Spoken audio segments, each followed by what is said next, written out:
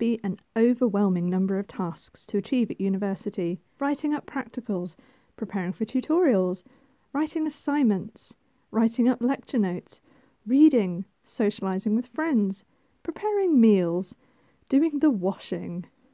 To help manage these tasks, they can be prioritised, and this can help you manage your time and use it most effectively. Start doing this by listing the things that you need to do. Order them by priority and work out which are due first and which can be left for a while. Don't forget to put in some space for self care as well as the basics like getting food or washing your clothes.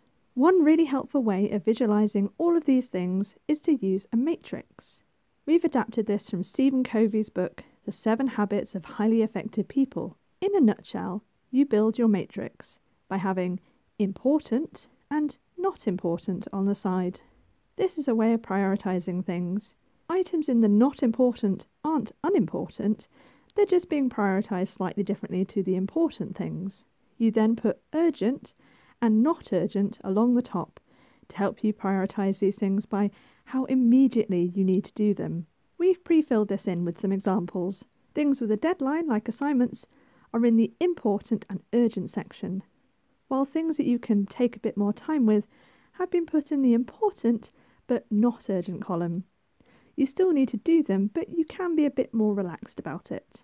The not important columns are still important. You need food, social time, and to relax, but they are marked as less urgent and less important because they are less time sensitive. To help reduce your to do list even more, one really good tip is to use the two minute rule. If a task isn't going to take more than two minutes, do it straight away. Simple. Breaking tasks down will help make them less daunting and make it easier to achieve the steps. So, for example, plan your essay into different sections depending on the question. If it is writing up a practical, then it's already been broken down into sections for you, which is really helpful.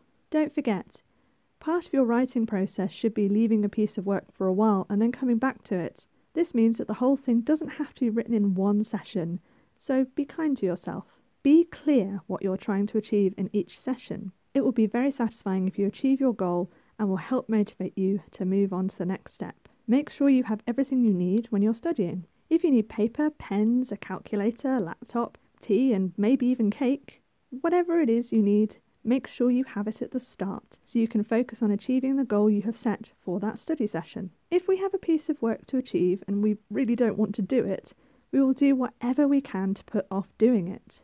That's totally normal. To overcome this temptation to procrastinate, make sure that you're working on tasks such as assignments at the most productive time for you, whenever that is. It might take you a while to work out what this means for you, so try experimenting until you find what works. To work most effectively, take regular breaks. You can use a timer to help you manage this. We quite like the Pomodoro method. Just taking a moment to stretch, get a cup of tea, or drink some water can help prevent you burning out mid essay. If you find it difficult to study in your room, don't study there.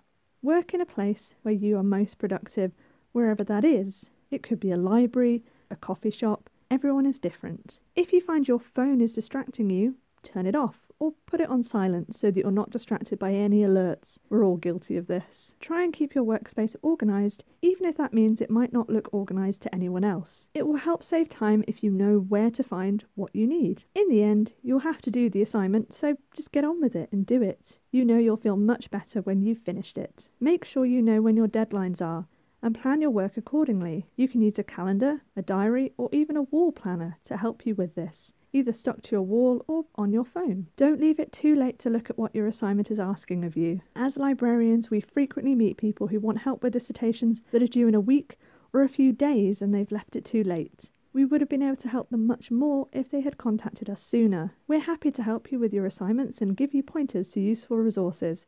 So just ask. It can be hard to be focused when writing an assignment. It is helpful to keep referring back to the original question to make sure you're staying on track. Use it to guide your reading and your note taking. Preparing your references section can be very time consuming, so consider using a reference manager to help with this process. If you learn to use it now, it will help you later, especially when you're working on your final projects. Whatever you do, Make sure you keep a record of your references as you go to avoid any last minute panics when you can't find an essential page number. Once you've received feedback on an assignment, look at it and use it to help set your priorities for your next study session.